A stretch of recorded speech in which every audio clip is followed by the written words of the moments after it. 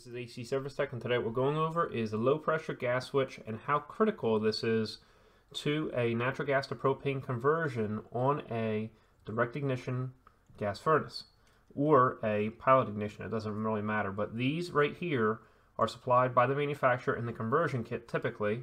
Uh, it could look like this or it could look a little different and basically they have to be installed on the inlet gas pipe somewheres. Uh, and these are typically wired in series with your limit circuits such as your plenum heat sensor and your flame rollout switch. So this pressure switch is there in order to open up the electrical circuit in case of a instance where the propane tank has basically run almost on empty or completely empty. In that case, instead of having a nice flame coming off of the front, what you'd have is a flame that's kind of coming back and possibly heating up parts of the furnace that uh, are not desirable. The flame also may not even make it through the uh, burner tube and also the flame rollout switch could end up accidentally getting tripped.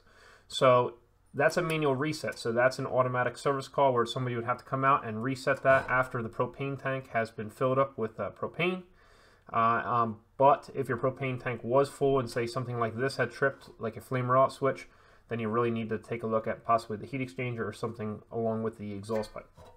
So this gas valve has already been converted to LP. The spring has been changed. I have a propane orifice here. And what we have here is we actually have this installed and we have our alligator clips attached to our multimeter right here and we're reading resistance.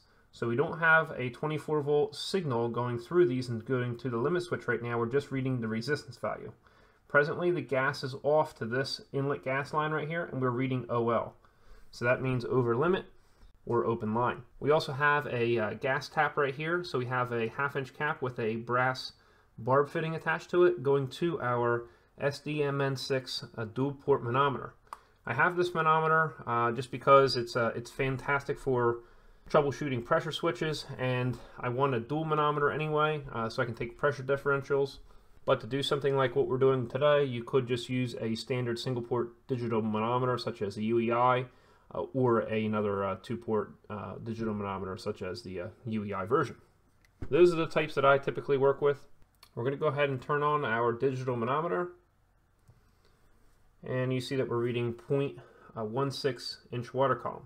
We're going to go ahead and zero that out because I just had this gas line open and now we're going to go ahead and turn on the gas pressure.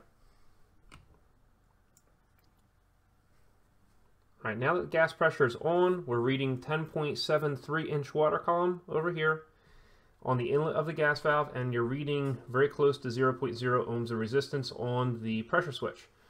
So this pressure switch will end up opening the electrical circuit if the pressure goes down past a certain level, which is factory set.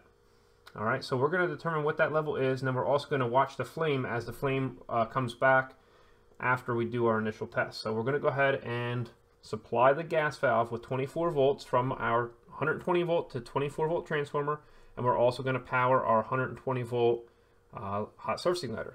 So we'll get this cherry red first and then we'll go ahead and power our gas valve.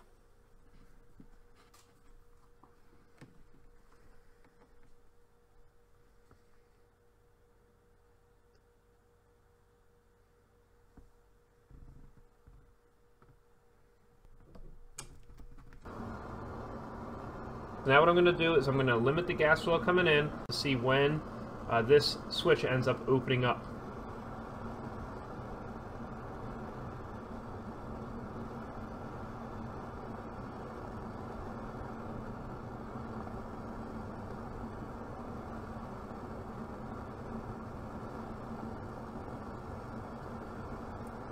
Okay, right there, it seemed to be right about 7 to 6 inch water column when this ended up opening up the electrical circuit. So what that would normally do is that would send the signal to the control board uh, telling basically the voltage to stop here and for the blower motor to turn on in order to cool the heat exchanger down. Now we're going to go ahead and allow the gas flow to come up and we're going to see when this switch ends up closing the electrical circuit again.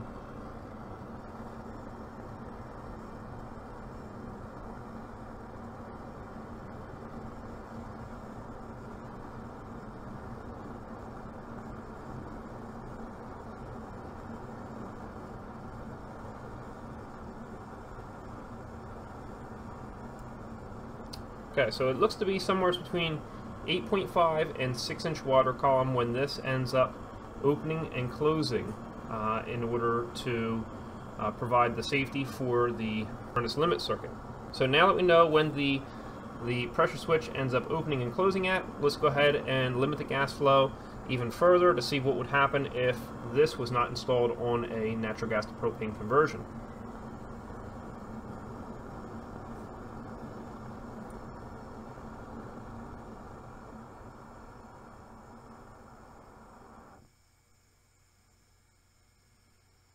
Now you see our water column readings down in 0.4, 0.3. You see the flames actually heading almost straight up, and that would end up lighting uh, anything on fire, potentially in the combustion area. As well, it's going to end up tripping the flame rollout switch as well. So that would be a dangerous situation when a propane tank is low on gas, and that's why we want to make sure that we have this wired in with the limit switches. So you know I included a list of all the tools used in this video down in the description below, such as the manometer and also the UEI manometer and the UEI multimeter. And if you want to help support this HVACR training channel, check out patreon.com slash acservicetech, where we're rewarding the patrons there by adding extra content such as articles, videos, and answering questions. Hope you enjoyed yourself, and we'll see you next time at AC Service Tech channel.